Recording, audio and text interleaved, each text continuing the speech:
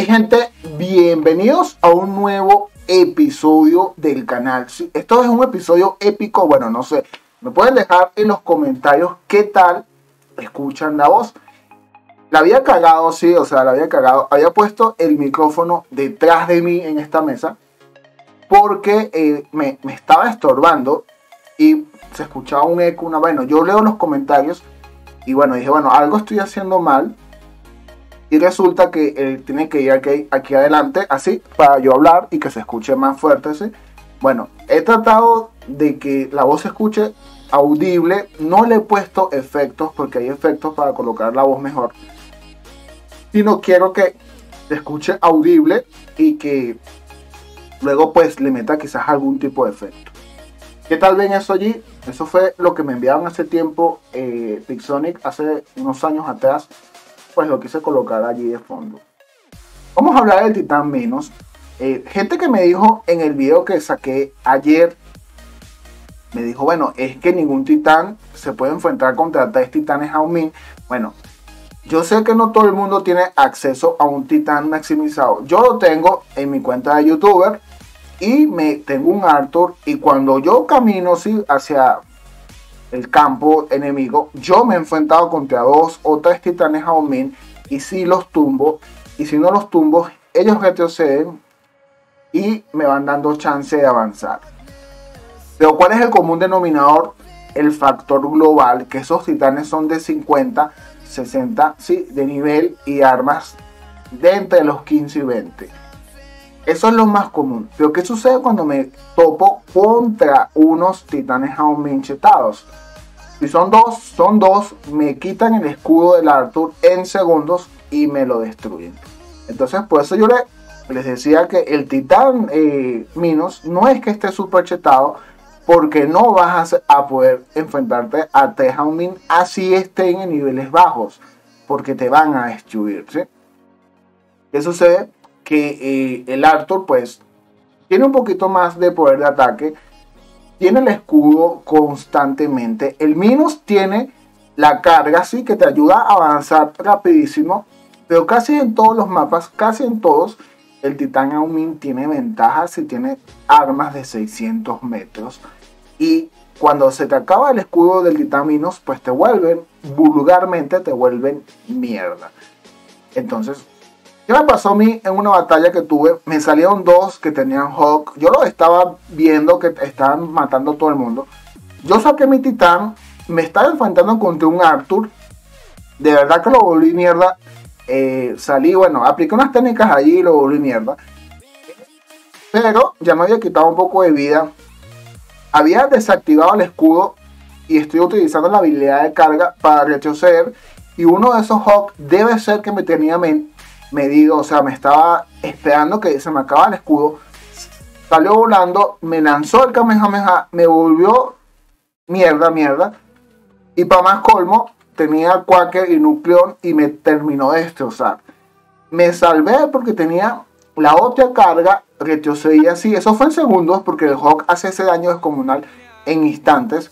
Retrocedí, me salvé, me puse detrás de un, de un edificio pude salvarme y quedar un poquitico de vida y a la final el Hawk me terminó destruyendo. Entonces cuando te, cuando te encuentras con jugadores así competitivos, llamemos competitivos a los que están chetados, ¿sí? Porque todo el mundo es competitivo si sabe utilizar lo que tiene. Entonces a los que están chetados, si te encuentras a uno bien chetado, te va a volver mierda. Este es el hangar que tengo yo en mi cuenta principal, ¿sí? Les voy a compartir un video mañana utilizando a este Titan Minos. El audio va a ser distinto porque estaba probando algo distinto. Entonces, pero este lo grabé después. A mí me gustó más este, a mí no, pero ustedes me pueden decir luego. Bueno, resulta que Big Sonic le regaló War Robots a todos los canales, le regaló un Titan de este Minos si así llueve, que no escampe, papá. Yo súper feliz, nivel 90. Pensaba yo comprármelo si me gustaba. Pero bueno, eh, lo único que invertí fue en una de estas armas. La subí a nivel 25. Y lo demás ya lo tenía nivelado. Pues lo he estado utilizando y me ha gustado a nivel 90. Eh, no pienso gastarme el platino todavía subiéndolo más. Porque eh, de verdad pienso que el Noens es mucho mejor que este. Y quizás suba el Noens o termine de subir al Arthur. Lo único que el Arthur de verdad que está demasiado lento y no me, no me está gustando tanto. Entonces, bueno, vamos a ver la batalla rapidito acá. Eh, para que ustedes tengan una idea.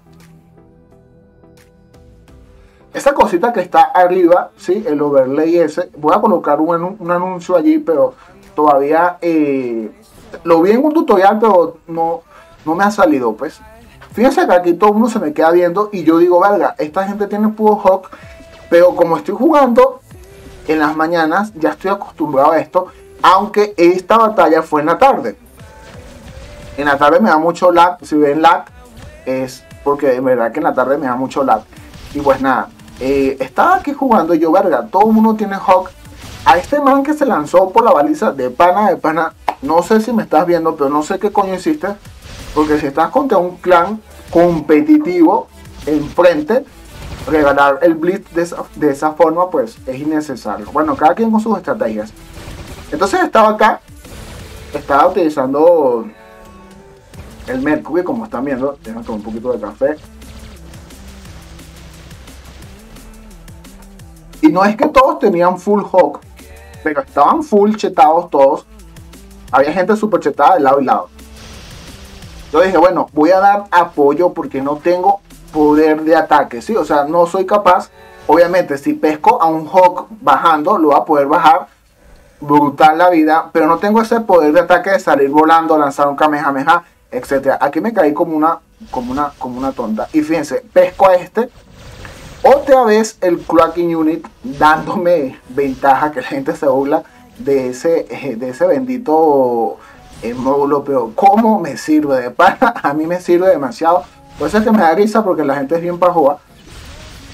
Y fíjense cómo me sigue salvando. Es que de verdad, gracias Cracking Unit porque me salvaste a mi amiguito de que me lo fuesen destruido. Obviamente que ya estaba vuelto nada el, el Mercury. Como les digo, no es competencia contra tantos eh, robot metas en una misma batalla. Pero fui y pues allí recuperé la baliza. Ya aquí creo que ya me había dado cuenta que estaba en medio de, de dos batallas, de una batalla de, escuadrón contra escuadrón. Y yo era el, el, que estaba metido allí, sí, por así decirlo. Habían Hawk en todos lados dije, bueno, voy a dejar a este amiguito, lo voy a dejar para recuperar otra vez la baliza. ¿Sí? No me iba a centrar en hacer daño. Yo a veces no juego así, sino juego para ganar. Y como no tenía Hawk, no tenía sino un solo Scorpion era lo que tenía en, ese hangar. El otro era un Leo. Eh, tenía... No me acuerdo qué tenía realmente. Tenía... Ah, bueno, tenía... Bueno, aquí, me vino un Scorpion y me vino un Guavana. Y no, el, el Scorpion no me mató, pero fue a hacer daño por allá. Y tenía esto, bueno, vamos a ver qué tenía aquí que ahorita me matan. Y salen los robots, si no me equivoco. La cuestión es que no estaba competitivo para nada. Y yo dije, verga. Ah, bueno, fíjense, tenía un Lich, tenía un Fenrir. Y no son competencia contra la nueva meta. Quizás si te sale uno o dos enemigos, sí, pero si te sale un clan, no. Bueno, nada. Aquí saco el Scorpion como para medio hacer algo de daño. Pero no lo saqué por la cuestión de la costumbre de que estoy haciendo videos. Estaba aquí probando eh, cómo están funcionando los microchips, estos efectos. Y no saqué el, drone que tengo chetado para el Scorpion. Ahí fue una equivocación mía, pero bueno. Lo comento como para que lo tengan en mente. Yo tengo un, drone chetado para que el escorpión sea muy muy efectivo. Entonces ese es el que suelo utilizar y no es este. Este tiene, son efectos de congelación. Entonces bueno, nada, aquí voy a, un ataque y fíjense la cantidad de, de, No sé si ustedes han visto tanto Hawk en una misma batalla. Habían tres Hawk allí y te aseguro que el que me estaba lanzando el Kamehameha era un cuarto.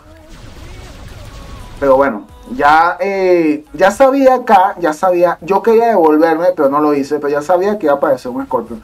Pero fíjense que apareció mano izquierda y yo no me di cuenta, sino hasta que vino a la espalda, me bajó muchísimo la vida, no me activó el stand, pero mm, fíjense que creo que tenía la Igniter y obviamente yo les dije en un video pasado que la Igniter es súper más efectiva que esta arma eh, Atomizer. Entonces me terminó destruyendo.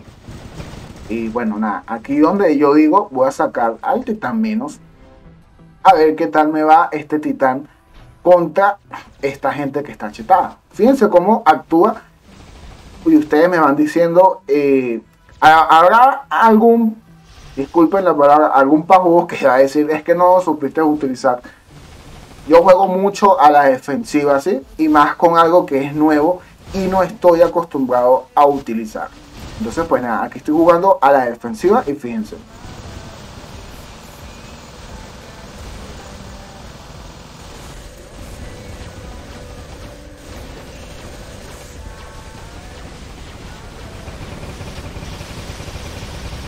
Acá, este es el detalle que les quiero, les quiero mostrar.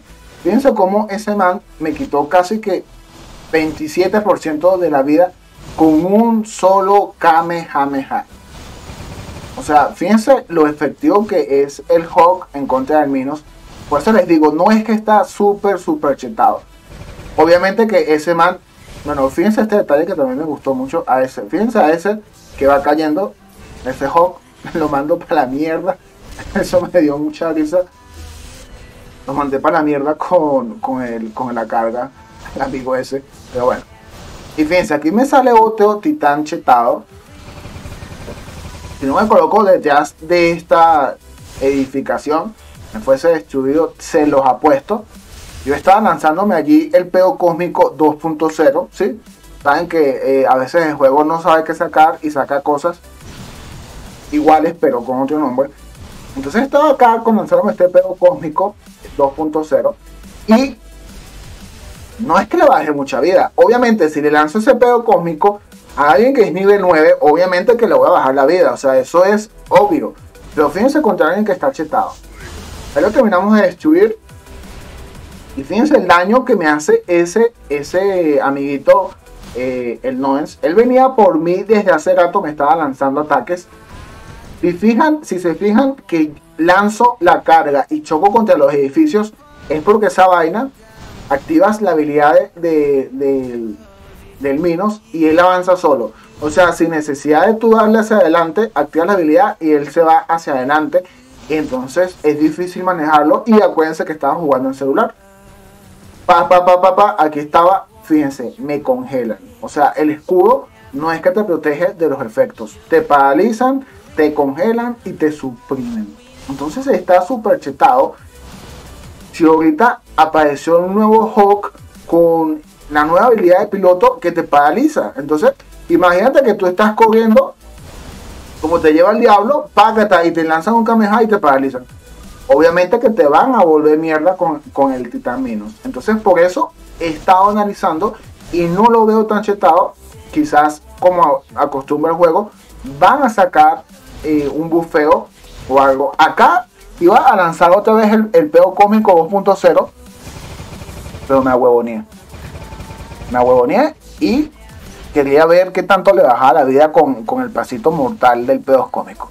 Si yo pesco al Hawk en el suelo, tengo el escudo activo, obviamente que lo voy a destruir, ¿sí? Obviamente. Pero esto es algo ocasional, ¿sí? El man se volvió loco, se vino para acá, no sé de pana no critico la jugada de nada, pero venirse hacia la otra baliza con dos titanes, un solo robot, está como difícil a pesar de que sea un Hawk.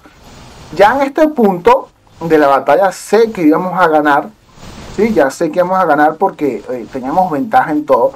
Eh, teníamos eh, uno, dos, tres, cuatro titanes encima de ellos y ellos ya habían perdido sus titanes. Y pues en verdad que me gustó mucho esta batalla porque estaba, con, estaba yo del lado de un clan competitivo y enfrente está otro clan competitivo. No sé qué tan chetados están esos clanes, ¿sí? no manejo esa información, solo vi unos perfiles, no los vi todos porque bueno, el video se me iba a colocar muy largo y pesado y no tampoco tengo curiosidad de, de ver qué tanto chetados estaban. Pero todavía tenían Hawk al final de la batalla quiere decir que hay gente que está súper, súper chetada. Entonces, gente, ¿es efectivo el titamino? Sí es efectivo. Yo lo utilicé aquí de forma defensiva. No me fui a la ofensiva. ¿sí? Ese es mi estilo de juego. Yo soy más defensivo, táctico que ofensivo, agresivo. ¿sí? Lo probé, dije, bueno, si puedo utilizarlo, si eh, sí puedo ser competitivo contra un clan competitivo y me toca jugar muy estratégicamente, pero no puedo hacer las, las tontadas que hago cuando veo que mi enemigo es débil y voy y quiero matarlos a todos, ¿sí? Quizás en otro video le muestre, eh, bueno, no, quizás no, mañana les voy a mostrar con mi cuenta el titán nivel 90 para que ustedes vean eh, qué tan efectivo es, pero no me salió gente chetada en ese momento porque también estaba jugando de noche. Me he dado cuenta que de noche sale más gente, eh, digamos que no a niveles bajos, pero sí un poco niveles bajos. En la mañana solía salir gente débil si jugaba a, las 9 de la mañana, quizás 10. Pero si juegas a las 3, 4 de la mañana te sale gente bastante, bastante eh, fuerte y te da un poco más, ¿sí? no tanto lag, pero te da algo de lag. Fíjense acá que estoy viendo los perfiles y pues hay gente que está muy bien nivelada, ¿sí? El clan Revolución. Yo me imagino que es un clan muy bueno, porque si tiene esta clase de pilotos, me imagino que, y tienen bastantes copas, ¿sí? 9000, 10000, pues es un clan muy bueno.